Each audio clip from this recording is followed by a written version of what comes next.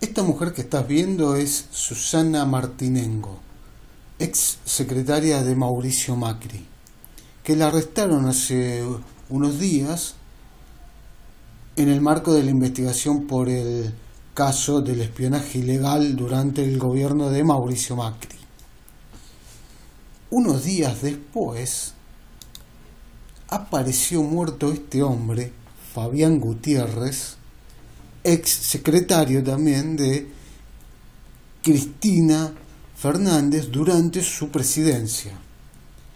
Particularmente lo encontraron degollado a este hombre. Estos dos puntos parecerían que no tienen nada que ver, y en realidad sí, porque estas investigaciones continúan y esto está relacionado con lo que está pasando en todo el mundo. Y esto tiene que ver con eso que seguramente debes haber escuchado con, de los arrestos masivos. Estos son los verdaderos arrestos masivos. Y en el marco de todo esto también eh, acá está ocurriendo que hay arrepentidos que están dispuestos a hablar, hay cada vez más arrepentidos. Ya se sabe que muy probablemente eh, varios periodistas, reconocidos periodistas argentinos, terminen tras las rejas. Y entonces parece que va a haber movimientos en el, en el gobierno argentino. ¿Qué pasaría?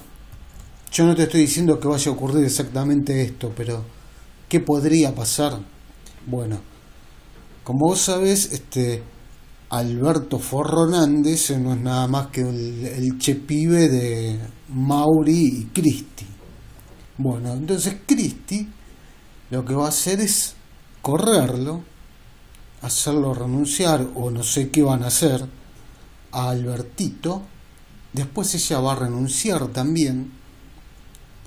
Y después no sé qué cuernos, cómo van a hacer, pero quieren que en el Ejecutivo interinamente quede el amigo, va, amigo mío no, el tipo este, Máximo Kirchner.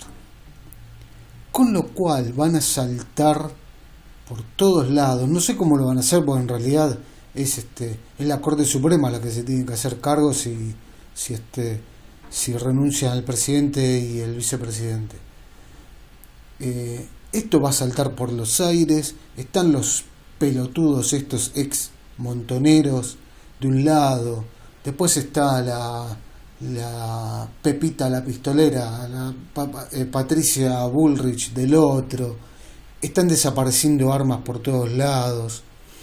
Hace poco se supo lo de...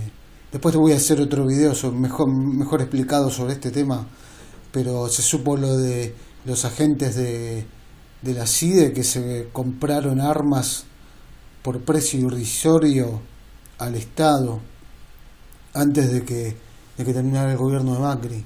Es decir, que hay un montón de armas dando vueltas. Este, los, los, los este, el caso este de los, paramilitares que hay en el norte, la Guardia Guayek. Bueno, todo esto con, con este tema va a terminar de, de saltar. ¿Y qué es lo que eh, ¿Por dónde viene la, la, mano? Bueno, es muy simple.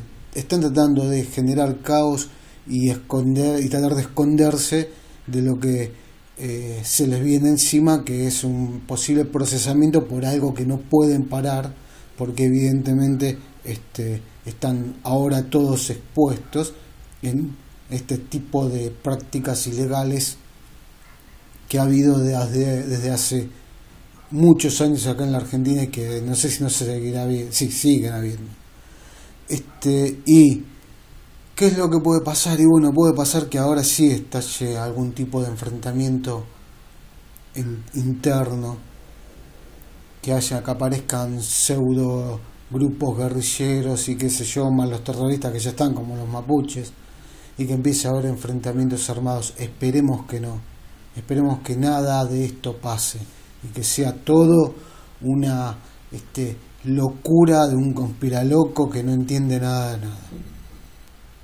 Bueno, en concreto, lo que te quería decir acá es que lo que va a pasar es, podría pasar es esto, Cristina Fernández lo va a apretar a a Albertito Forronández para que renuncie, o no sé qué cuernos van a hacer, ella va a renunciar, y no sé cómo cuernos van a hacer, pero quieren poner al payaso este que estás viendo como al cargo de, del Ejecutivo de manera interina. Bueno, era nada más que esto. Gracias por ver este video y por compartirlo.